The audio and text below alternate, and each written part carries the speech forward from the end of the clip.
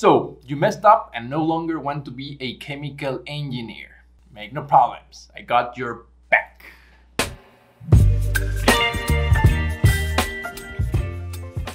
Hey, what is up guys? Welcome once again to the channel. It's always great to have you back. And yes, truth be told is that lots of chemical engineers, or at least people that start chemical engineering degree, will select that degree because they are good at math and good at chemistry. And we all know that this may not be the best idea to select a major.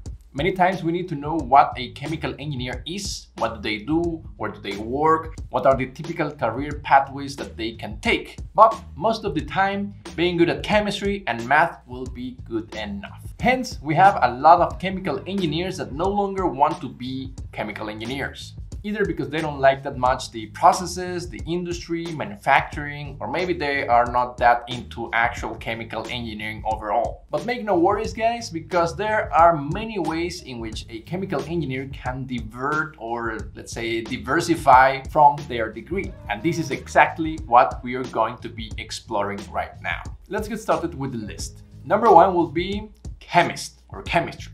Yes, I'm pretty sure that you selected chemical engineering because you were good at chemistry, or maybe you just love chemicals or love going to the lab. In this specific case, what we're going to be exploring is, yes, going for a master degree or trying to focus your first job as a chemist. And although the chemical engineer may not be the best fit or the very first profile they look out, you can still have a chance to go into research and development or maybe to work directly at a lab, making formulations, making experiments, maybe designing new products, maybe even working in a pilot plant. If this is not the case, simply go for a master degree on chemistry. You can go for analytical chemistry, organic chemistry, maybe you're into environmental chemistry, whatever type of degree that may resonate with you, you can still do it and you will not be working towards chemical industry or chemical engineering overall, but you're going to be working as a chemist.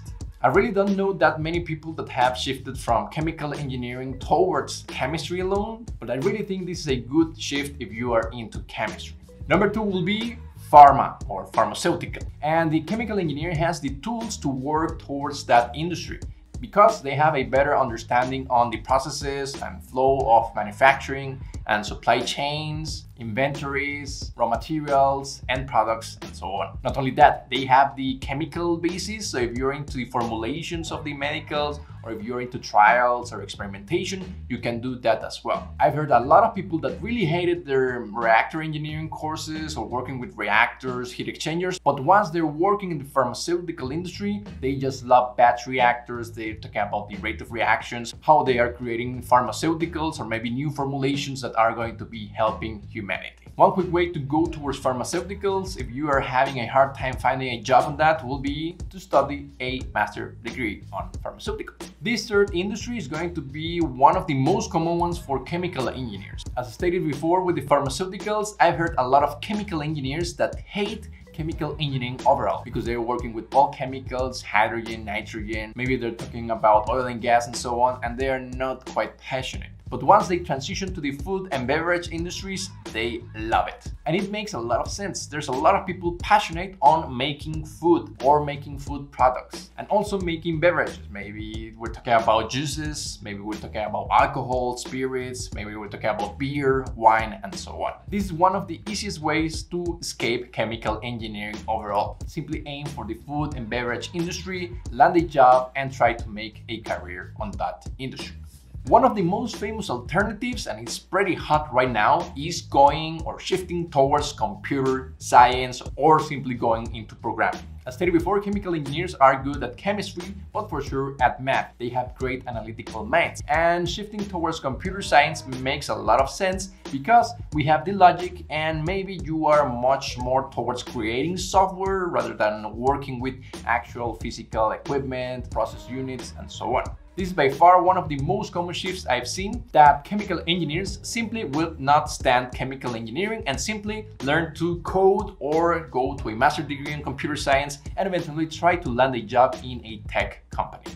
As you may already know, tech companies are the ones that pay the most, so it makes a lot of sense chasing the money. But not only that, guys, there's a lot of jobs, and you don't need to move in middle of nowhere in order to achieve that. You can do this even at your home. So, so that's why shifting towards programming or computer science is becoming a common trend in recent graduates and young engineers. A lot of chemical engineers are now shifting towards green chemistry or environmental engineering, meaning that they are not that convinced go to a manufacturing industry, work in creating these bulk chemicals, but whenever they think about the environment or improving our world and making a much more safer and environmental friendly processes, they instantly get attached to environmental engineering. And there's not much to say here. If you're into the environment, this will be for sure one safe bet for you. You can directly go and apply for a job in a consultancy firm or maybe work in an industry that works with a product or a green product, let's say. Or maybe you just go and study for a master degree. Whatever the case it may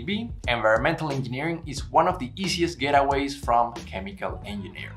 Truth be told that mechanical engineering is something that we know is very similar to chemical engineering. Maybe they don't work that much with moles or maybe they don't use that much the reactor, but we know that combustion is there, we know that material sciences, we know that machines and equipments are used in mechanical engineering. And I have heard some people that eventually shift towards mechanical engineering. Either they get started working as a process engineer, which goes pretty on hand with mechanical engineers, and eventually what they do is learning more about mechanical engineering.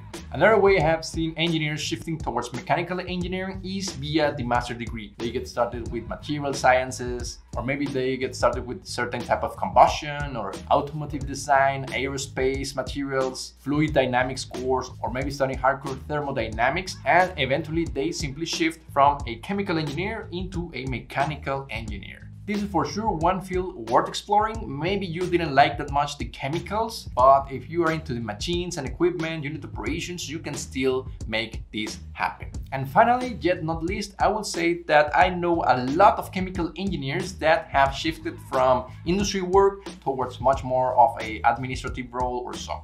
We're talking about finances, we're talking about consulting, we're talking about maybe marketing, maybe even social media management, and so on. And this makes a lot of sense because engineers have already all this analytical mind. It will be pretty easy to simply teach them more on the finances of a business, or maybe if we're talking about marketing, it's way easier to understand the marketing fundamentals and then using all these analytical tools that we have in order to improve the field. One of the easiest ways to shift to this type of jobs is simply try to apply to those type of companies. We're talking about consultant companies, maybe we're talking about marketing agencies, or maybe we're just simply talking about financial companies. But essentially what they're looking for is a person that has great analytical tools and has a great interaction with their clients, with their bosses, with their suppliers, and of course are great team players.